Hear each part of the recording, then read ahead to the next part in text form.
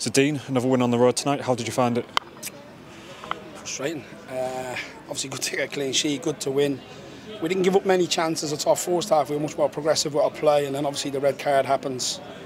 I actually taught the boy Widdrington, who's the manager's son, was so cowardly with a challenge on Glover with an elbow on the back of the head, and then I've just seen he's just kicked all our bottles there as well. So unbelievable. I can't believe it. And, uh, and then I see him in the fourth minute. I think the referee should get hold of the game where he, he clatters Shelton from from side on, and he doesn't even have a word him.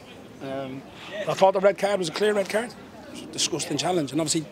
th- Listen, gamesmanship is going to come into it from their point of view. They're trying to get an entry, they're down to 10 men, and they're making it difficult for us. But I thought our progressive play and our final tour play was crap. Yeah, uh, In the I, second half, whatever. I think just speaking on the red card as well, the first half looked very dominant from our side, but yeah, the, the red card didn't really seem to phase them that much in the second half. our attacking players never produced. Idris had a, a good performance. Uh, Gloves didn't really produce a lot. Uh, Brunt never produced anything of quality, of note. Um, obviously, Bales hit the inside of the post in the first half. Great save by their goalkeeper, to be fair. Um, but we've come here, really. This is a tough place to come. We've come here and we've got eight players injured. So um, people that say "Ah, injuries and all that, like, and listen, if them players weren't injured and didn't have the careers they had, they wouldn't be playing at this level. That's as simple as that. They play much higher. So that's the risk we take because that's the finances we have. So, but as a team today, as a collective, we dug deep. Keeper did well when he had to, made some good good catches. Idris cleared a few balls away on second balls on the edge of the box. Stuff that you have to do if you're going to have success. So you're not just going to have it all your own way. And um, I just think we missed our classy our players today, our Browns and our um, and our and our Chapmans. Um, instead had a dead calf, and I didn't even want to play him. Um, to fair to Steady, he did a double session of treatment yesterday. He had a double session of today of treatment. I didn't want to put him on. I was hoping he'd be a bit, more convincing, and uh, I've had to put him on in the end. So it is what it is. Yeah, Nicky made his first start in a while tonight. You must be pleased to you know see him back on the score sheet again. Obviously, two in two for him now as well. Delighted he scored. I thought his performance levels were terrible. His hold of play was shocking. Um, spoke to him yesterday, showed him yesterday, worked on it yesterday. Need to hold the ball up well for us against these because they leave their centre halves isolated because they want to press in midfield. They want to jump you in midfield. They're trying to set on the on the press and. Um, I thought they get isolated. Their centre halves, the centre forwards, and I just thought Nicky was manhandled by their centre half all day. Fair play to their centre half, but I thought Nicky was poor. Uh, I will say he got the goal, but I just think the other boys, the industrial players, Idris did really well. He was at his level. Um, Nick Tavares was at his level. Um, I thought so, just some of the players just not at that level, not at the standard we've set ourselves. So, look, Israel is we've won, so that's the main thing. Nothing else matters really. But it's my job to dissect it and break it down. But I'm not standing here being all negative. We've won one 0 but I think we need to do better. Um, I look for Brunt in these games, and I said to him half time, I'm looking for you in these games to go get another two and make a 3 0. Go be the difference, and I didn't think he was. Saturday's man of the match. Uh, Harry Chapman wasn't involved today. What's the story with him? He's just got a tight hamstring, and I cannot risk him. He's too important to us. He's the difference in the game. When we played Southend, he was the difference the other day. He's the difference at Wealdstone. Just cannot risk him. You know, he come to us with two two days to go. But he come, I think it was the Thursday before Halifax, so he didn't have a full pre-season. He was training with the PFA. So I just got I just got to wrap him up and cut him all. He's so important to us. Now, if we want a Harry Chapman when he's in a series where we've got to give him three and four grand a week, we don't pay that, so.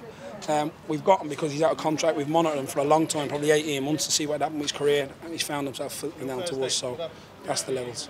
Yeah, and obviously that makes it now four wins in a row heading into Saturday. So the momentum must be building now. I just want to get the, the key players back. We'll just, like I said, we'll come in. Uh, we'll have tomorrow off in Thursday.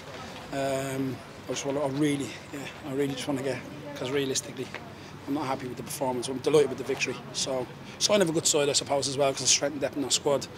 Um, had to take Shelton off at half time, going round like giving away fouls, just so naive. And I think Shelton would have hurt them today with his late runs into the box and stuff. Because he's booked already, he's got booked for a silly booking.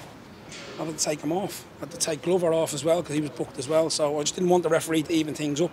But I thought the referee set the precedent when he let Widdrington just absolutely clatter in the first two minutes, clatter Shelton from side on. So if you're going to let them go, and then he gives stupid little bookings away. But all in all, look, Israel is for Oliver. We're delighted with the victory. We move on. The next, I'm delighted for our supporters.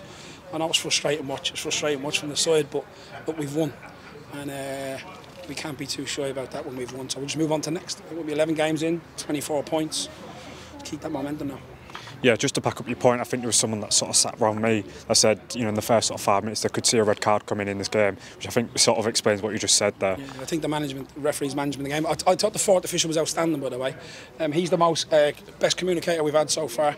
Uh, Tom was his name. He was he was so good. He was uh, he was uh, chalking up the fouls and stuff like that. It's funny. He actually said right at the end of the half to the referee in the monitor, "That's his third foul." It was right before half time out on the left hand side, out on their right hand side, their left, and he was and he, didn't even have a chat with the lad. Three fouls in the bounce. So like, but then when Brunty miscontrols the ball and it barely goes out, and he tries to recontrol, uh, get it back in on the pitch. Uh, he gives him a booking. So. Uh, just is. Like, I, I like Oliver. To be fair, I think he's a decent referee, but I don't think he's had a glorious night. I got to be honest with you. He did well for the red card. And he gave himself a little bit of time to think about it, but that was a disaster challenge. Look, we've had a lad here like on Saturday have a really bad injury. And I do, I wish him well, uh, their captain, the left centre half. I wish, I wish him well in his recovery. He had a horrendous injury, and then you got stuff like this going on, like people just booting people. Um, so it's cowardly, in my opinion. And Fylde made the trip, make the trip to the Hive on Saturday. How much do you know about them and what potentially they can bring? Everything, not just Norton. They've got loads of players, loads of quality players. Very attack-minded. Both fullbacks like to fly forward. These are real attack-minded side. If we play to the level we did tonight, we'll come unstuck. So we've got to get back on the horse and get to, get to our standards again. So look, we come in a tricky night and won. Fylde are a good side. Um, I don't know how they got into. I don't know any of the results tonight. I've just come and seen you straight away. Um, but all in all, look, we just move on to the next game and, and we take each team we, we, we treat them with uh, professionalism, we treat them with um, respect, and uh, we just move on. But I know Foyle they're a good side. I know they're probably not in the position they want to be. And I know they've obviously got some backing with their owner up there, to be fair, and not, and we all know about him, but they have got other players um, that can really hurt you. I think they're a good group of players, and I see them pushing up the division. Thanks for your time, Dean. Cheers.